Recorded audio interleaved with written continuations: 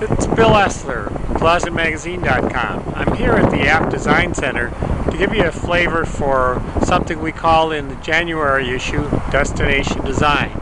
It's a string of design-oriented retailers that are all put together at one strip mall center.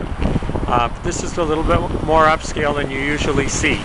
And among the collection is also a closet company, California Closets. We'll take a tour around.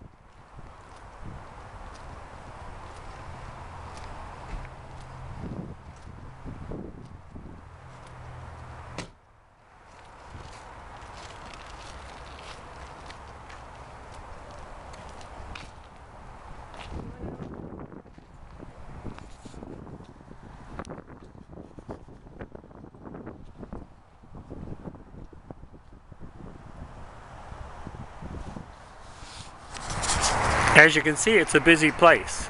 You can read all about it in the January issue of Closets Magazine or read it online at closetsmagazine.com.